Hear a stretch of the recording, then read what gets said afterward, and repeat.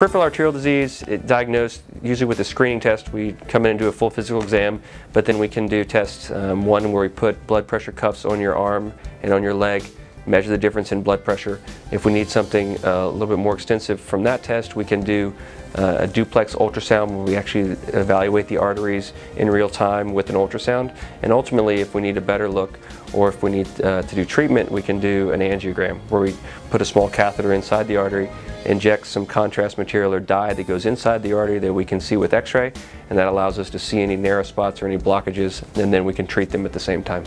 Some of the more serious cases, depending on the level of blockages, may need to be done in the hospital. Patients don't have as severe problems. Um, a lot of those procedures we can actually do in the office in our angiographic laboratory where we um, will do put you on the table, get, we will start an IV to do some sedation just to help um, keep you relaxed and then we can go inside the artery and, and open up any blockages or place stents